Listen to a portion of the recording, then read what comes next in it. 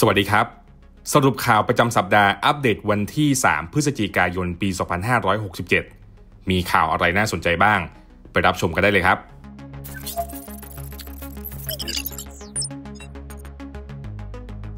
Chat GPT Search เปิดให้ใช้งานแล้ว เริ่มให้ใช้สำหรับผู้ใช้แบบจ่ายเงินได้ใช้ก่อน Chat GPT Search ครับ ใช้โมเดล Chat GPT 4o ใช้งานได้ทั้งบนเว็บไซต์และในแอปพลิเคชันครับ โดย ChatGPT Search จะเริ่มเปิดให้ใช้งานสำหรับผู้ใช้ ChatGPT Plus และ ChatGPT Team ก่อนครับ ก็คือผู้ใช้แบบจ่ายเงินเนี่ยจะได้ใช้งานก่อน ส่วนผู้ที่ลงทะเบียน waitlist ครับ จะเริ่มใช้งานได้เช่นกัน OpenAI เผยว่าผู้ใช้ในกลุ่มธุรกิจและการศึกษาครับ จะได้ใช้งาน ChatGPT Search ในไม่กี่สัปดาห์หลังจากนี้ ส่วนผู้ใช้แบบฟรีครับจะได้ใช้งานในอีกไม่กี่เดือนข้างหน้า ก็รอกันต่อไปนะครับ ChatGPT Search ครับใช้งานได้โดยการคลิกไอคอนค้นหาในหน้าจอ ChatGPT จากนั้นครับเราก็ใส่ข้อความหรือว่าคำค้นหารวมถึงคำสั่งด้วยภาษาธรรมชาติได้เลยครับ เมื่อกดเซิร์ชแล้วเนี่ย Chat GPT Search ก็จะทำการค้นหาข้อมูลครับ แล้วรายงานผลการค้นหา พร้อมทั้งยังสามารถพิมพ์โต้ตอบ สนทนา ตอบคำถามกับผู้ใช้ได้อย่างต่อเนื่องอีกด้วยครับ OpenAI เผยว่าทางบริษัทครับได้ร่วมมือกับผู้ให้บริการข่าวและข้อมูล เพื่อให้ข้อมูล Chat GPT Search สามารถค้นหาข้อมูลล่าสุดในหมวดต่างๆ ได้ครับ อย่างเช่นสภาพอากาศ หุ้น ข้อมูลกีฬา ข่าวรวมถึงแผนที่ โดยการค้นหาด้วย Chat GPT Search ครับ จะมีการลิงก์ไปหาข้อมูลต้นทางด้วย เราสามารถดูได้เลยว่าคำตอบที่ Chat GPT ค้นหามาให้ มาจากแหล่งไหน เมื่อต้นปีที่ผ่านมาครับได้มีข่าวการมาของ Search GPT ซึ่งเป็นตัวต้นแบบ AI สำหรับการค้นหา และ OpenAI ได้ทำการทดสอบกับผู้ใช้กลุ่มหนึ่งก่อนที่จะเปิดตัว Chat GPT Search และเปิดให้ใช้งานในช่วงปลายปี 2024 นี้นั่นเองครับ Netflix เปิดตัวฟีเจอร์ใหม่ Moments แชร์ฉากที่ชอบให้กับคนที่ใช่ได้ Netflix ครับได้ประกาศเปิดตัวฟีเจอร์ใหม่ชื่อ Moments ซึ่งช่วยให้สมาชิกครับสามารถ bookmark บันทึก และแชร์ฉากโปรดจากซีรีส์รวมถึงภาพยนตร์บนสตรีมมิ่งได้ง่ายขึ้นครับ Netflix Moments ครับคือฟีเจอร์ใหม่ล่าสุดที่ทาง Netflix เปิดตัวมา ให้เราสามารถบันทึก ดูซ้ำและแชร์ฉากโปรดจากซีรีส์รวมถึงภาพยนตร์ที่เราดูใน Netflix ได้ครับ สามารถแชร์ได้ผ่านโซเชียลมีเดีย สำหรับวิธีการใช้งานครับ เมื่อตอนที่เราเปิดภาพยนตร์หรือว่าซีรีส์ครับ เมื่อขณะรับชมแล้วเราอยากแชร์ซีนที่น่าสนใจ ก็สามารถแตะที่ไอคอน Moments ที่อยู่ด้านล่างของหน้าจอได้เลย ระบบก็จะบันทึกฉากนั้นครับโดยอัตโนมัติ แล้วเก็บไว้ใน My Netflix ของเรา แล้วเราก็ไปกดแชร์ครับตามโซเชียลมีเดียที่เราต้องการ Netflix Moment ครับคือฟีเจอร์ที่น่าสนใจมากครับสำหรับใครที่ชอบดูซีรีส์และภาพยนตร์ แล้วอยากแชร์ฉากเด็ดให้คนดู ก็สามารถเข้าไปใช้งานได้เลยนะครับที่ Netflix Instagram ลดคุณภาพวิดีโอสำหรับวิดีโอที่ไม่ค่อยได้รับความนิยมเท่าไหร่ ผู้บริหารส่วนงานของ Instagram ครับ เผยว่า โดยทั่วไปแล้วครับ เราต้องการแสดงวิดีโอที่มีคุณภาพสูงสุดที่เราสามารถทำได้ แต่ถ้าบางวิดีโอครับที่ไม่ได้รับการรับชมเป็นเวลานาน ก็จะย้ายไปใช้วิดีโอที่คุณภาพต่ำกว่า และถ้ามันเริ่มกลับมาถูกดูซ้ำครับ ก็จะ render วิดีโอใหม่ให้กลับมาเป็นคุณภาพสูงอีกครั้ง Mosseri ครับเผยเพิ่มเติมว่าการที่ปรับคุณภาพวิดีโอสำหรับวิดีโอที่ไม่ค่อยได้รับความนิยมมากเท่าไหร่ ไม่ได้เจาะจงเฉพาะรายบุคคลครับ เป็นการปรับแบบแพลตฟอร์มโดยรวม ซึ่งปกติแล้วครับวิดีโอเนี่ยจะให้ความละเอียดสูงมาก่อน แต่ถ้าวิดีโอนั้นครับเริ่มได้รับความนิยมน้อยลง หรือว่าแทบไม่มีคนดูเลย ก็จะปรับเป็นวิดีโอที่มีความละเอียดต่ำซึ่งส่วนนี้ครับก็จะเป็นการจัดการเรื่องของ CPU ในการเข้ารหัสไฟล์วิดีโอด้วย รวมถึงเป็นการประหยัดพื้นที่ในการจัดเก็บไฟล์ขนาดใหญ่ และจะเป็นการผลักดันคอนเทนต์ครีเอเตอร์ใน Instagram ทางอ้อมครับให้ผลิตแล้วก็พัฒนาเนื้อหาที่น่าสนใจมากขึ้น จริงๆ แล้วครับนี่ก็ไม่ใช่เป็นเรื่องใหม่ครับ เพราะว่าก่อนหน้านี้ครับทาง Meta บริษัทใหญ่ของ Instagram และ Facebook ได้เปิดเผยตั้งแต่ปี 2021 แล้วว่า การอัปโหลดวิดีโอบนแพลตฟอร์มครับมีมากขึ้นอย่างต่อเนื่อง ซึ่งทำให้ตัวเซิร์ฟเวอร์ครับไม่สามารถเก็บวิดีโอความละเอียดสูงทั้งหมดไว้ได้ โดยเมื่อปี 2023 ที่ผ่านมาครับ ทาง Meta ได้ประมาณการว่ามีการสตรีมวิดีโอบน Facebook ครับมากถึง 4,000 ล้านวิดีโอต่อวัน ซึ่งสูงมากๆเลย ทาง Meta เองครับได้กล่าวว่าการดำเนินการเช่นนี้ครับจะช่วยประหยัดทรัพยากรต่อวิดีโอ ที่มีจำนวนการรับชมไม่สูงมากครับและช่วยให้อัปโหลดวิดีโอได้เร็วขึ้น แต่เมื่อมีการรับชมวิดีโอนั้นๆ มากขึ้นครับก็จะได้การเข้ารหัสที่ดีขึ้น และเมื่อวิดีโอได้รับความนิยมมากพอ ก็จะได้รับการประมวลผลระดับสูง ซึ่งส่งผลให้ผู้สร้างเนื้อหาครับที่ได้รับความนิยมมีแนวโน้มสูง ก็จะสามารถอัปโหลดวิดีโอที่มีความละเอียดสูงสุดตามขึ้นไปด้วยครับซัมซุงพิจารณาเลิกใช้คำว่า Galaxy ในชื่อสินค้าบางตัว e-todays ครับสื่อเกาหลีเผยว่าซัมซุงได้มีการพิจารณาตัดคำว่า Galaxy ออกจากชื่อสินค้าบางตัว หลังจากที่ใช้มานานตั้งแต่ปี 2009 โดยกำลังหาชื่อใหม่ที่เหมาะสมกว่า โดยเริ่มแรกครับ Galaxy จะถูกใช้ในสมาร์ทโฟนรุ่นพรีเมียมของ Samsung ก่อน ถูกใช้ครั้งแรกครับใน Samsung Galaxy i7500 ในปี 2009 ครับ รายงานเผยว่า Samsung กำลังหาชื่อแบรนด์ใหม่ที่จะมาแทน Galaxy โดยจะเป็นคำที่เน้นให้จดจำเรื่องของนวัตกรรม สอดคล้องกับที่ผู้บริหารฝ่ายการตลาดของ Samsung ครับ ที่เคยเผยไว้ว่า ลูกค้าจะคาดหวังชื่อใหม่ เมื่อมีจุดเปลี่ยนด้านนวัตกรรมเกิดขึ้น ชื่อแบรนด์ใหม่ครับคาดว่าจะถูกใช้ในสมาร์ทโฟนรุ่นพรีเมียมของ Samsung เพื่อให้แยกชัดเจนครับระหว่างรุ่นธรรมดากับรุ่นพรีเมียมที่แตกต่างกัน ทางด้านฟีเจอร์ สเปค และราคา โดยชื่อแบรนด์ใหม่ครับจะเหนือกว่า Galaxy ด้วย ข้อมูลเผยว่าได้มีการเปรียบเทียบตัวอย่างเรื่องกลยุทธ์การตั้งชื่อสินค้าของ Hyundai ครับที่เขาจะใช้คำว่า Genesis ในรถระดับพรีเมียมซึ่ง Samsung เนี่ยก็อยากใช้แนวทางนี้เหมือนกัน ณตอนนี้ครับคำว่า Galaxy ถูกใช้ในสมาร์ทโฟน Samsung หลายรุ่นครับทั้งตัว Galaxy M Series Galaxy A Series Galaxy S Series มาจนถึง Galaxy Z Series รวมถึง Galaxy F Series ด้วย เหตุเพราะว่า Samsung เนี่ยมีสมาร์ทโฟนหลายระดับมากๆครับ ตั้งแต่ราคาถูกไปจนถึงราคาแพง ดังนั้นเรื่องของชื่อแบรนด์ณปัจจุบันครับ จึงทำให้ไม่มีความชัดเจนครับเท่ากับ iPhone เพราะคำว่า iPhone ครับ eToday เขาเผยว่า ตัวชื่อ iPhone เนี่ยสื่อถึงความพรีเมียมในตัวเลย โดยที่ Apple ครับจะเลือกใช้คำว่า iPhone เฉยๆ กับ iPhone ที่ต่อท้ายด้วยคำว่า Pro เพื่อแยกกันครับระหว่างตัวสเปคเริ่มต้นกับตัวสเปคสูง แม้ Samsung ครับจะเป็นแบรนด์ที่ขายสมาร์ทโฟนได้มากสุดในแง่ของจำนวน แต่ยอดขายครับกลับลดลงในทุกๆปี และในกลุ่มสมาร์ทโฟนระดับพรีเมียมครับ Apple ยังเป็นผู้นำอยู่ทำให้รายได้จากการขาย iPhone ของ Apple นั้นมีสูงมากทำกำไรได้ดี ถึงแม้จำนวนจะขายได้ไม่เท่ากับ Samsung ก็ตาม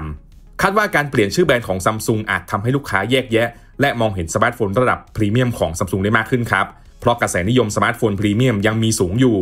โดยก่อนหน้านี้ครับเคยมีผลสำรวจจากวัยรุ่นสหรัฐครับพบว่าจากผลสำรวจ 9 ใน 10 คนเนี่ยวัยรุ่นสหรัฐใช้ iPhone ดังนั้นครับ Samsung เลยต้องการเจาะตลาดตรงนี้ของ Apple มากกว่า ส่วนชื่อแบรนด์ใหม่ของ Samsung จะเป็นอะไรยังไงก็ต้องรอดูกันนะครับ iPhone 16 ถูกแบนในอินโดนีเซีย เนื่องจาก Apple ไม่ทำตามสัญญาการลงทุน The Economics Time ครับเผยว่าคำสั่งแบน iPhone 16 ในอินโดนีเซียนั้นครับครอบคลุมไปถึงตัวเครื่องที่ยังไม่ถูกขาย และตัวเครื่องที่ขายไปแล้ว รัฐมนตรีอุตสาหกรรมของอินโดนีเซียครับเผยว่า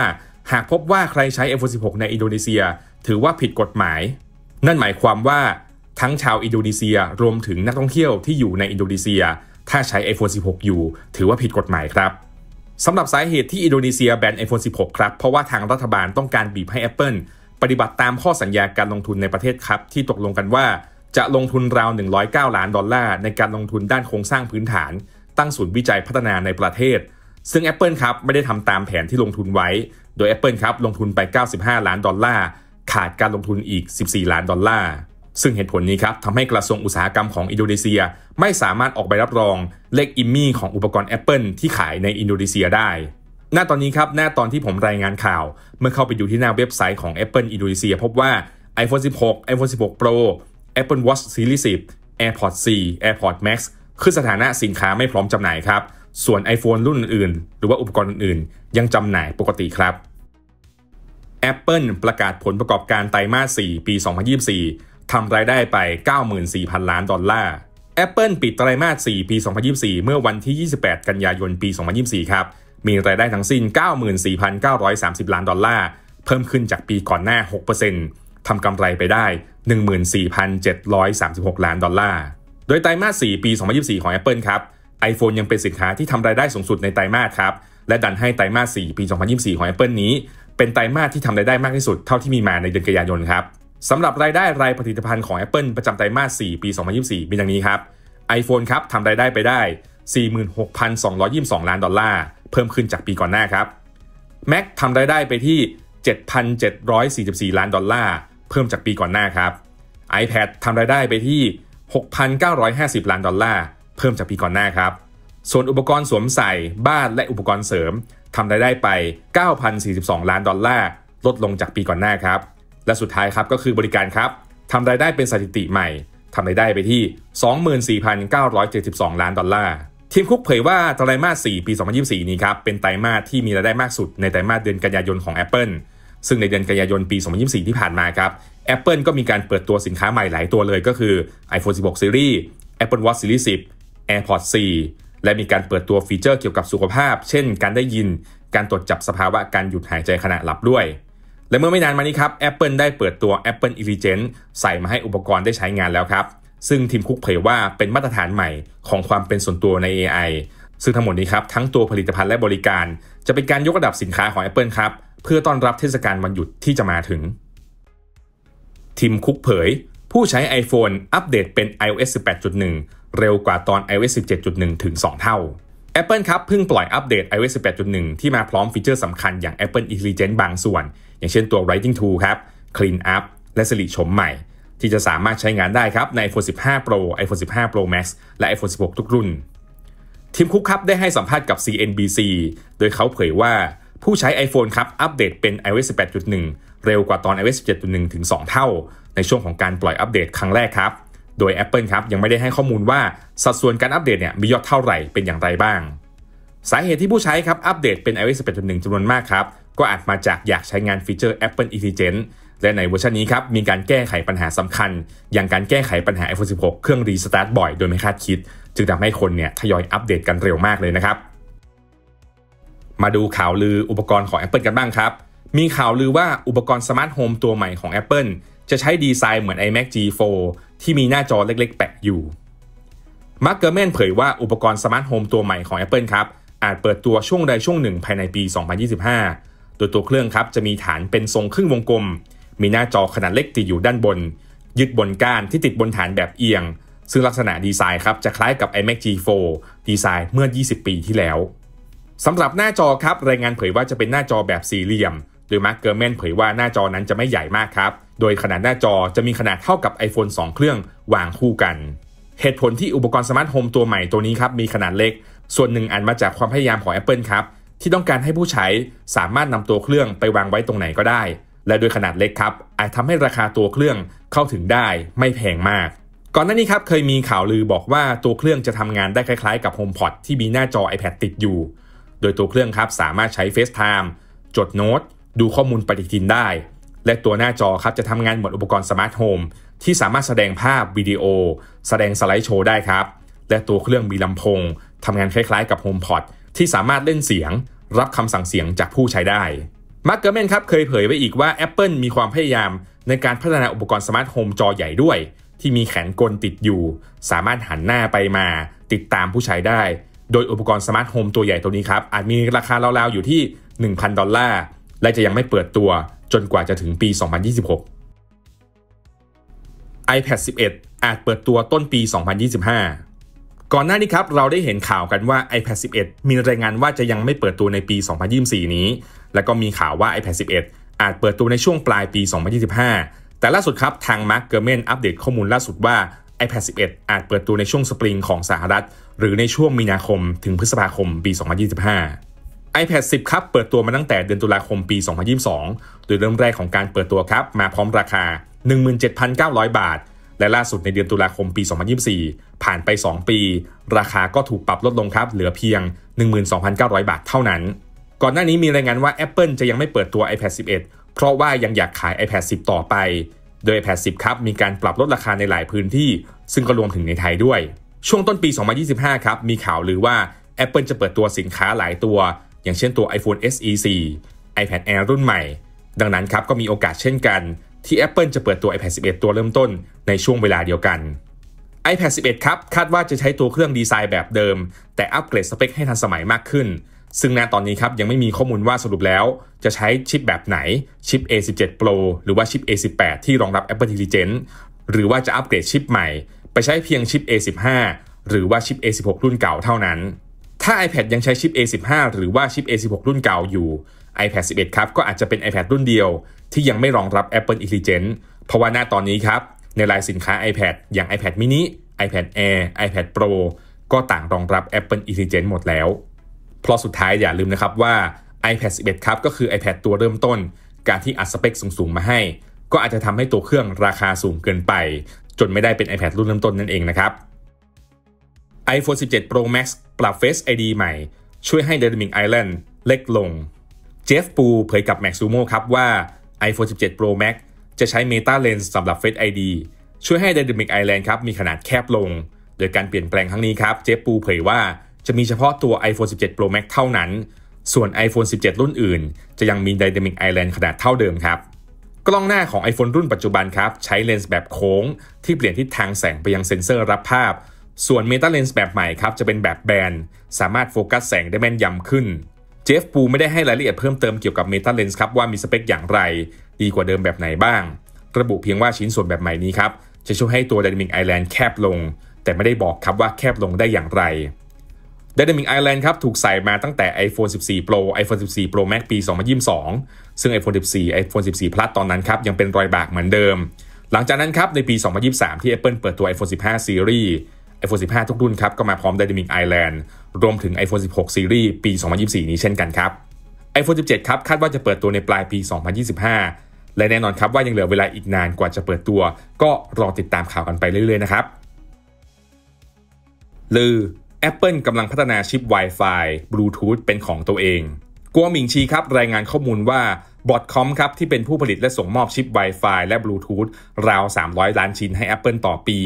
หลังจากนี้ครับ Apple อาจเลิกพึ่งพาบอทคอมครับ เพราะว่ากำลังพัฒนาชิป Wi-Fi Bluetooth เป็นของตัวเองนายทูไฟแม็กครับเผยว่า Apple มีแผนที่จะนำชิป Wi-Fi Bluetooth ที่พัฒนาขึ้นมาเอง มาใช้ในอุปกรณ์รุ่นใหม่ช่วงครึ่งหลังปี 2025 ซึ่งอาจรวมถึงตัว iPhone 17 ด้วยครับ โดยชิป Wi-Fi ที่ Apple พัฒนาขึ้นมาใหม่นั้น จะผลิตโดย TSMC ที่ใช้กระบวนการผลิตแบบ N7 ครับ และตัวชิป Wi-Fi ใหม่ของ Apple ก็จะรองรับ Wi-Fi 7 ล่าสุดด้วย หลังจากนั้นครับ Apple ก็จะนำชิป Wi-Fi ที่ผลิตขึ้นมาเองนั้นครับไปใช้ในสินค้าตัวอื่นภายใน 3 ปี ซึ่งการที่ Apple ใช้ชิปที่พัฒนาขึ้นมาเองนั้นครับก็จะช่วยลดต้นทุน และนำมาปรับใช้กับสินค้าใน Apple Ecosystem ได้มากขึ้นนายทูไฟแม่ครับเผยว่านอกจาก iPhone SE 4 ที่จะใช้ชิปโมเด็ม 5G ใหม่แล้ว ก็มีโอกาสเหมือนกันที่จะใช้ชิป Wi-Fi Bluetooth GPS ตัวใหม่ โดยชิปโมเด็มตัวใหม่นี้ครับใช้โค้ดเนมว่า Century เป็นชิปโมเด็มครับที่มีทั้งตัว Wi-Fi Bluetooth GPS ในตัวแบบ all in one อย่างไรก็ตามครับ ทางกัวหมิงชีได้อัปเดตข้อมูลเพิ่มเติมว่าชิปโมเด็ม 5G กับชิป Wi-Fi ครับจะเป็นชิป 2 ตัวแยกกัน ไม่ได้เป็นแบบ all in one ตัวเดียวครับ โดยชิปโมเด็ม 5G อาจถูกเริ่มใช้ใน iPhone SE ก่อน และตัวเครื่องครับจะยังใช้ชิป Wi-Fi ของบอร์ดคอมเหมือนเดิม ส่วนชิป Wi-Fi ใหม่ของ Apple ครับอาจถูกใช้ในสินค้า Apple บางตัวในช่วงครึ่งหลังของปี 2025 นั่นอาจหมายถึง iPhone 17 นั่นเอง ดังนั้นครับ iPhone 17 และสินค้าอื่นๆ ที่จะเปิดตัวในช่วงครึ่งหลังของปี 2025 อาจมาพร้อมทั้งชิปโมเด็ม 5G และชิป Wi-Fi ใหม่ของ Apple นั่นเอง ทั้งหมดนี้ครับก็เป็นสรุปข่าวประจำสัปดาห์ อัปเดตวันที่ 3 พฤศจิกายน ปี 2567 จริงๆ มีข่าวอีกมากมายครับ ทั้งเรื่องของการปล่อยอัปเดต iOS 18.1 รวมถึงการเปิดตัวสินค้า Mac รุ่นใหม่ 3 ตัวครับ อย่างเช่นตัว iMac 24 นิ้วชิป M4 Mac mini ชิป M4 และ MacBook Pro ชิป M4 สามารถตามไปดูกันได้ครับ ที่หน้าเพจ Facebook iMod รวมถึงตัวเว็บไซต์ iPhonemod.net และ YouTube iMod Official ของเราด้วยนะครับ